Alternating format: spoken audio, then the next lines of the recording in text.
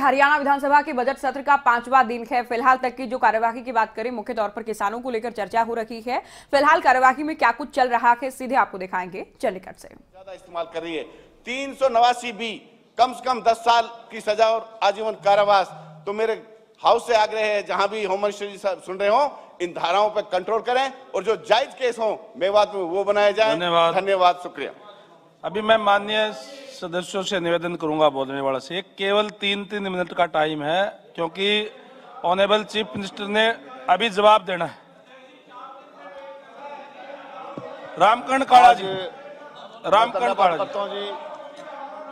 आज हमारे राज्यपाल महोदय के बजट भाषण होगा कोई बात नहीं बजट भाषण चाहूँगा जी हमारे शाहबाद के अंदर जो है एक मेरे को शाहबाद के अंदर एक तो जड़ना गाँव एक तंगौर गाँव वहाँ मेरे को एक पुड़ची है जी। तो वहाँ से एक पुड़ची है वहाँ और मेरे जो आज जो बिजली के जो मकान के ऊपर तार जरी ये हमारे को एक जिम्मेदार मजदूर के बारे में इसका उतार होना चाहिए तारने का थ्री क्योंकि आज हर आदमी परेशान आ तो बिजली की जो तार जरी दूसरा जो जुंगी झूफड़ी वाले हैं उनको हमारे को एक शाहबाद के अंदर बहुत दिखता है बहुत परेशान हो बैठे उनको प्लाट मिलने चाहिए। दूसरा हमारा जो जोहड़ की जो आज जोहड़ के बड़े परेशान है जोहड़ के बारे में। तो जोहड़ की जो रिटेनिंग वाल होनी चाहिए और उसकी जो पाइप लाइन बिचनी चाहिए जो जिम्मेदार को पानी मिल सका और उसको मतलब का निकासी भी हो सका जोहड़ की बड़ी समस्या जो सड़क खराब हो रही दूसरा हमारा एक आज जो हमारा लाडवा रोड है जो वहाँ सुगर मिल रहा है वहाँ फोर लर्निंग होना चाहिए जी। तो बाकी एक हमारा जो वहाँ ब्राड रोड पर जगह पड़ी है, हमारे को हॉकी का ग्राउंड और एक वॉलीबॉल का ग्राउंड ज़रूरी चाहिए जी। एक तो वहाँ जी हमारी सरकारी जगह पड़ी, हमारे को जगह दवाई जा और हमारे को वहाँ मिलना चाहिए जी। और हमारे जो एक ब्राड रोड के पास शिवी भाषा गुरुद्वारा है, वहाँ एक पुल ज़रूरी चाहिए, वहाँ को एक वहाँ पुल ज़रूरी चाहिए कि वहाँ पुल के मतलब वहाँ निकासी वहाँ बहुत ही आसपास से गाँव और हमारा जो, हमारे जो आज जो बक्कड़ बोर के प्लाट, बक्कड़ बोर के जो जिम्मेदार हैं मतलब दुकानदार हैं, उनको वो जो जहाँ प्लाट उनको मिलनी चाहिए, जहाँ दुकाना है उनकी, उनको वहीं के वहीं उनको रजिस्टर कराई जा वहीं भी उनके जरूरतमंद है। हमारे जो आज एक और जो हमारे जो पुल की जी रोड है जो हमारा वहाँ बहुत दिखता है बहुत एक्सीडेंट हुआ। बस स्टैंड भी उतरी है कोर्ट भी उतरी है सारा कुछ उधर है। वहाँ एक थोड़ा नीचे पैदल निकलने का पुल लग जाए तो बहुत ही एक दुनिया बच जाएगी। वहाँ मेरी मांग है बहुत अच्छा हुआ है। ठीक है धन्यवाद। ये पाँच साल जो हमारे शाहबाद की जो निकासी है इसका बहुत बहुत अच्छा काम होगा। ये हमारी मांग है ये हमारे होना चाहिए। तो मैं ये कहूँगा राज्यपाल महोदय के उस पर हमारे जो जोड़ की निकासी एक लाडो रोड के सारे सारे जो हमारे मुद्दे हैं तो हमारे राज्यपाल के जो भाषण जो हमारे मंजूर करे जा, और हमारे शाहबाद की मांगा दादो पर की नड़वी जो नड़वी नहर इसको आज हमारा जो इलाका, आज बहुत पानी नीचे चले गया। इसके पास मतलब ये दादू पर नड़वी का निर्माण होना चाहिए ज़रूरी, क्योंकि हमारे जो जिम्मेदार मजदूर बहुत, आज बहुत इसके ऊपर मतलब हमारा का जो आने वाली पीढ़ी है हमारे इसका भविष्य ठीक होगा हमारा चो बहुत नीचे चले गया। हर जिम्मेदार मजदूर किसान की सबकी मांग है भी दादू पर नड़वी चलनी चाहिए। ये मेरा वादा है। ये मतलब हमारा दादू पर नड़वी का एक पूरा नहीं पूरे जमुनानगर से लेकर आगा कैथल तक तक चले गए। ये पूरा पूरा इलाका हमारा बच्चा का ये मेरी एक मांग है। ये मतलब पूरे इलाके की मांगा पूरे जिम्मेदार मजदूर किसान की सबकी मांगा नहीं तो हमारा तो रिश्ते भी नहीं होने का नहीं तो फ़सल होंगे। तो मैं कहना चाहूँगा धन्यवाद। आपका बहुत बहुत धन्यवाद मेरे पूरे मुद्दे पूरे करा। और जो हमारा जो जो बक्कड़ बोर्ड के प्लाट है बाकी बाकी दे दो काला जी आप लिखे हुए दे दो आप अपना। लिखा हुआ दे दो आप पहले आप कह चुके उसके, थे आप। उसके बारे में ज़रूर सोचना क्यों? दुकानदार जिन्हें मकान पर रखे जिन्हें दुकाना बना रखी आज जो बड़े बार बार जाकर कहते हैं खाली करो खाली करो।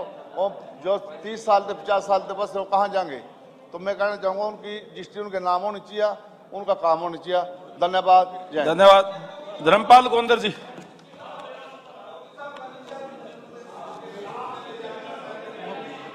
आप गोगी जी आपके जो सीनियर लीडर है वो नहीं चाहते कि आप बोले क्योंकि एक ने उनतीस एक ने उनतीस मिनट लिया एक ने बीस मिनट लिया और बीस बीस मिनट कई सदस्यों ने लिया आपके जो सीनियर लीडर है। उपाध्यक्ष सर मेरा आपसे निवेदन है कि ऐसे हालात देखते हुए मेरा ख्याल लगता है प्रदेश व देश की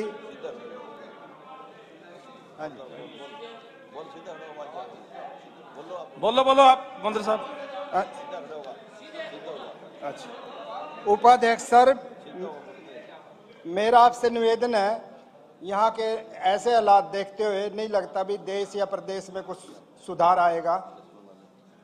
निवेदन मेरा ये है कि कम से कम यहाँ जो मंत्री महोदय या विधायक बैठे हैं, इनकी समस्या का ज़रूर हल करें। हम यहाँ स्पीकर पर झुक कर बोलते हैं। सामने वाले देखते हैं, भी पता नहीं हमारी तरफ़ क्यों देख रहे। मेरा निवेदन है कि एक तो इस माइक की राड लंबी करवाई जाए। जैसा कि पंजाब में एक गज की है जी। ठीक है।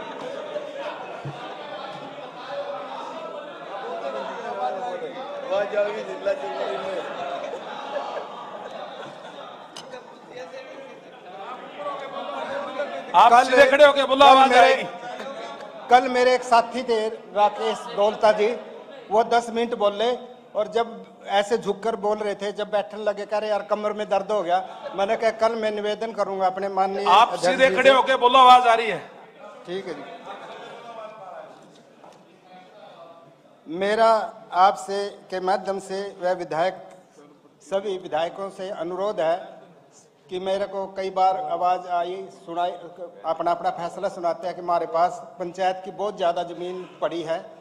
मेरा सभी विधायक और मंत्रियों से निवेदन है कि जितनी भी ज़मीन पंचायत की आपके पास, वो हमें वन विभाग में दें। हम आपको अच्छे पौधे और अच्छे फलदार पौधे लगा कर देंगे, ये मेरा आपसे निवेदन है। उपाध्यक्ष महोदय, यहाँ पर सभी दलों के सभी सरकार से विधायक आए बैठे हैं और वो एक दूसरे पर इतनी उंगली उठाते हैं शक की निगाह से। जब कोई सरकार जीतने वाली होती है उसमें दूसरी पार्टियों के वहाँ आ जाते हैं। तो मेरा एक सुझाव है कि वे सरकार के ऊपर उंगली क्यों उठाते हैं? कल भी उन्होंने उनकी तरफ़ जाना है। तो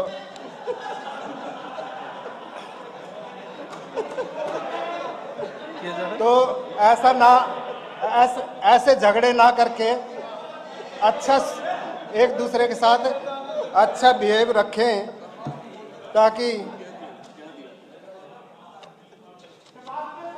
और एक मेरा सबसे ज़्यादा निवेदन है जी, अध्यक्ष महोदय, एक मेरा सबसे ज़्यादा निवेदन है, हमारे यहाँ पाँच सात आज़ाद विधायक हैं, इनको बोलने का मौका दिया जाए। कई बार हम सोचते हैं कि हम एक ऐसे फंस गए जैसे दो शराबियों के बीच में एक सेठ फंस गया था। नहीं, मज़ाक नहीं है जी, सही कह रहा एक बार जंगल में दो शराबी शराब पी के चले गए। जंगल में पहुँच गए, सामने से एक शेर आ गया जी। तो वो शेर की तो उन्हें परवाह नहीं करी, आपस में झगड़न लग गए। एक कह रहा, एक शराबी कह रहा, अभी शेर तो अंडे देवा है। दूसरा कह रहा, नहीं, वो तो बच्चे देवा है। तो आपस में दोनों झगड़न लग गए, शेर ही शर्मा के या डर के मारे चले गए वहाँ से। तो इतनी देर में एक सेठ जी आ गए वहाँ, दोनों शराबियों ने पकड़ लिया। तो कहने लगे, भाई बता, शेर अंडे देवे क्या? दूसरा बोले, नहीं, बच्चे देवे। उन्हें सोचा, भाई, इसकी कहीं यू पीटेगा, दूसरे के यू पिटेगा। तो उन्होंने कहा, भाई, शेर तो जंगल का राजा है, उसकी मर्ज़ी, अंडे देवे, अंडे दे दे, बच्चे देवे, बच्चे दे। तो हमारी पार्टी का खास ध्यान रखा जाए।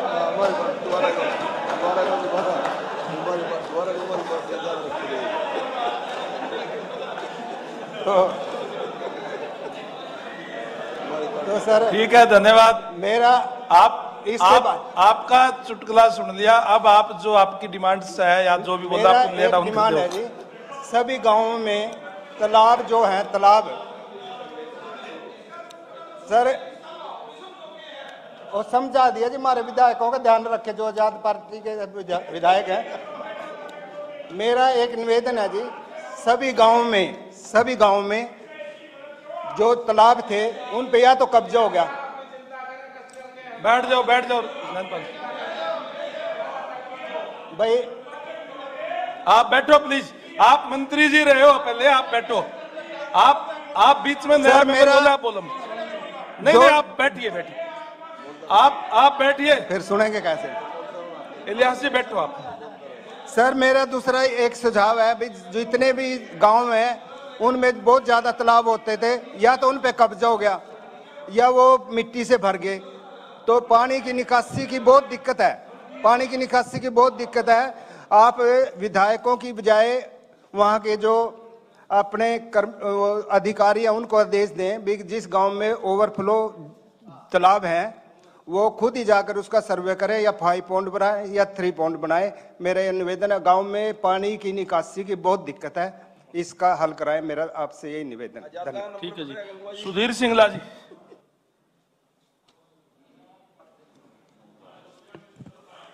धन्यवाद उपाध्यक्ष महोदय। महोदय मैं पहली बार बतौर विधायक विधानसभा पहुँचा हूँ।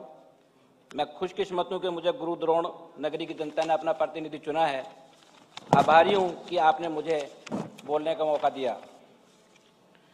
चौदहवीं हरियाणा विधानसभा के प्रथम बजट सत्र में महामहिम राज्यपाल जी के अधिवेशन का समर्थन करता हूँ। अभिभाषण का समर्थन करता हूँ। उपाध्यक्ष महोदय, सरकार ने वर्ष 2020 सुशासन संकल्प वर्ष के रूप में मनाने का निर्णय किया है। मेरा अपना मानना है कि एक बहुत सराहनीय कदम है। मान्य जिस नेता में अपना आत्मबल हो और स्ट्रॉन्ग डिटर्मिनेशन हो, वही नेता सुशासन की तरफ़ सोच सकता है। तो मैं मान्य मनोहर जी का आभारी हूँ, साधुवाद देता हूँ कि उन्होंने इस किस्म के लिए सुशासन की तरफ़ सोचा। मान्य कभी कल्पना करता, करा करते थे कि क्या कभी अपने राज्य में सुशासन आएगा, लेकिन अब लग रहा है कि कुछ अच्छा होने जा रहा है। मान्य मैं बधाई देता हूँ। कुछ लोगों ने कहा कि हॉस्पिटल के अंदर डॉक्टर नहीं है। कुछों ने कहा कि स्कूल में टीचर्स नहीं है। मेरा कहना है कि सम्मानित विधायक निर्णायक ना बने, वो जजमेंटल ना बने। इस बात की गणना क्योंकि सुशासन वर्ष संकल्प लिया जा रहा है तो इस बात की निर्णय 2021 में जब फरवरी में बैठेंगे तो उस समय ज़रूर इसका निर्णय हो जाएगा। मान्य, मेरा अपना मानना है कि रेवेन्यू रिकॉर्ड का डिजिटलाइजेशन करना, ये एक बहुत ही बड़ा ट्रिमेंडस जॉब है। देखिए रेवेन्यू रिकॉर्ड बहुत वॉल्यूमनस रिकॉर्ड है। अगर उसका डिजिटलाइजेशन करते हैं तो जहाँ हम किसानों की सोच रहे हैं कि किसानों की आमदनी आय डबल हो, लेकिन अगर उसका रिकॉर्ड डिजिटलाइजेशन हो जाता है तो देखिए ये बहुत बड़ी उसकी मदद है। खाली आय होने के बजाय साथ साथ अगर उसके खर्चे कम होते हैं, एक किसान कम से कम साल में चार बार जाता है। अपनी चाहे जमाबंदी लेने जाता हो, चाहे खसरा गिरदावरी लेने जाता हो चाहे इंतकाल लेने जाता हो, लेकिन अगर उसको एक बटन पे सब कुछ अवेलेबल है तो मैं समझता हूँ ये सरकार का बहुत भारी परोपकारी कदम रहेगा उन किसानों के लिए। साथ में गाँव का लाल डोरा मुक्त होना, अगर आप देखें तो सभी सम्मानित विधायक सामने बैठे, वो कह रहे थे किसानों के लिए क्या किया क्या किया? गाँव का लाल डोरा जो आबादी है, गाँव में जो आबादी है और एक रेवेन्यू स्टेट है, आबादी के अंदर अगर देखें तो लगभग गाँव में किसान ही रहता है। जब उसके पास एक सीएलडी की कॉपी होगी। उसमें उसके हदुदरबा होगा, उसकी डायमेंशन होगी, उसकी ईस्ट और वेस्ट के अंदर उसकी भुजाएँ होंगी तो उसकी प्रॉपर्टी का डिटर्मिनेशन हो जाएगा। आज लाल डोरे के अंदर ऑनरशिप नहीं होती। जिसका कब्जा होता है, वही मालिक होता है। मान्य उपाध्यक्ष महोदय, जब कभी कोई आदमी, किसान, अपना गाँव तो अपना घर तोड़ के लाल आबादी के अंदर। घर तोड़ के अगर कंस्ट्रक्शन करता है तो आप देखिए सत्तर परसेंट मुकदमे उसमें शुरू हो जाते हैं। क्योंकि ऑनरशिप का तो उसके पास प्रूफ होता नहीं। किसी भी मस्खरे ने या परिवार का कोई भी आदमी मुकदमा डाल देता है तो ऑनरशिप साबित करने में उसको बीसों साल लग जाते हैं। मान्य महोदय, अभी कुछ सामने सम्मानित विधायकों ने अखबार की कटिंग लेके कुछ बातें करनी शुरू करी थी। मैं महिपाल ढांडा जी का, जो उन्होंने कहा कि सीएलयू का खेल गुरुग्राम में हुआ। मैं मैं अखबार की कटिंग ना लेके और मान्य बत्रा जी ने कुछ बातें कही जिसमें उन्होंने कहा कि इंक्वायरी होनी चाहिए। मैं तो कह रहा हूँ इंक्वायरी के बारे में पता नहीं क्या होगा, नहीं होगा। उसका रिज़ल्ट क्या आएगा? हो सकता है उनको वापस जाना पड़े, अपने शब्दों को वापस लेना पड़े इंक्वायरी के अंदर। लेकिन मैं आपके सामने एक Rameshwar versus state of Haryana honourable supreme court of India की जजमेंट के बारे में दिखाना चाहता हूँ कि किस किस्म से खेल हुआ। वर्ड है, आप गौर करिए fraudulent transaction land notified for acquisition purchased by private builder after date of notification. Landowner proceeded to enter into transaction with builders. Price received greater than rate awarded. State government arrived at a decision for withdrawal of acquisition. महोदय हुआ क्या कि section चार लगा दिया गया section चार land acquisition act लगा, लगा दिया गया और उन जमींदारों को प्रेशराइज किया गया है कि तुम्हारी ज़मीन एक्वायर होने जा रही है। बहुत नॉमिनल रेट पे एक्वायर होने जा रही है। और उसके बाद कुछ बिल्डर्स को छोड़ दिया गया। उन बिल्डर्स ने उनको कहा कि सेक्शन चार हो रही है, तुम ज़मीन हमें बेच दो। उन्होंने उन ज़मीन को खरीद लिया और सेक्शन छह के अंदर बाद में उस ज़मीन को रिलीज़ कर दिया गया। और रिलीज़ करने के बाद उन्होंने वहाँ पर बहुत इन थाउजेंड्स करोड़ के अंदर एक एक बिल्डर्स ने वहाँ पर कमाया। मान्य विधायक मान्य उपाध्यक्ष महोदय, जहाँ पर मैं एक जनप्रतिनिधि होने के नाते मेरा परम कर्तव्य बनता है कि मैं अपने विधानसभा क्षेत्र में हुए विकास कार्यों को सदन के पटल पर रखूँ। साथ में उन समस्याओं का भी यहाँ प्रस्तुत करूँ। मैं एक ही मिनट और लूँगा कि एक पाँच करोड़ रुपए की माननीय मुख्यमंत्री जी ने योजना दी है कि सभी विधायक अपने अपने विधानसभा में डेवलपमेंट के बारे में सोचें। तो उसके अंदर मैंने एक एमएमयू मोबाइल मेडिकल यूनिट की अपनी एक प्रपोजल बना के भेजी है, क्योंकि मेरे गुरुग्राम के विधानसभा में जो हॉस्पिटल है वो डिसमेंटल होने जा रहा है और लगभग उसको चार साल बनेंगे लगेंगे पाँच और पाँच साल भी लग सकते हैं। दूसरा जो सामान्य हॉस्पिटल है वो बादशाहपुर कॉन्स्टिट्यूंसी में आता है सेक्टर दस ए के अंदर। तो मेरे गुड़गांव के अंदर फ़िलहाल चार से पाँच साल कोई सामान्य नागरिक हॉस्पिटल नहीं है। उसके लिए मैंने कहा है कि पाँच जो मोबाइल हॉस्पिटल बनाया जाए वो एक ही मिनट लूँगा मैं। और इसके साथ साथ मेरा कहना यह है कि जमींदारों का बहुत अधिक मुआवजा है। जो लैंड एक्वायर हो गई लेकिन मुआवजा उनको नहीं मिल पा रहा और उसके ऊपर बहुत अधिक ब्याज लग रहा है। तो मेरा कहना यह है आग्रह यह है कि एचएसवीपी को कहा जाए कि उस ज़मीन को अधिक से अधिक जल्दी जल्दी ऑप्शन करके बाकी दिया जाए। लिख करके जो भी वो रिकॉर्ड में आ जाएगा। दो ही मिनट लूँगा। एक एक मिनट और लूँगा। रिकॉर्ड में आ जाएगा सर एक एक एक मिनट मेरे यहाँ गुड़गांव के अंदर 900 मीटर का एक एम्यूनेशन डिपो है जिसके 900 मीटर के अंदर लोग रहे हैं लेकिन वहाँ पर मूलभूत सुविधाएँ नहीं है। मेरा मेरा मान्य सदन से आग्रह है कि उस 900 मीटर के अंदर जो मूलभूत सुविधाएँ वो दी जाए और लगभग 300 मीटर के अंदर तो ये ऑनरेबल हाईकोर्ट के कहने से भी वहाँ पर मूलभूत सुविधाएँ नहीं दी जा रही लेकिन या तो उनका कहना यह ऑनरेबल हाईकोर्ट का कि उनको विस्थापित कर दिया जाए कहीं और।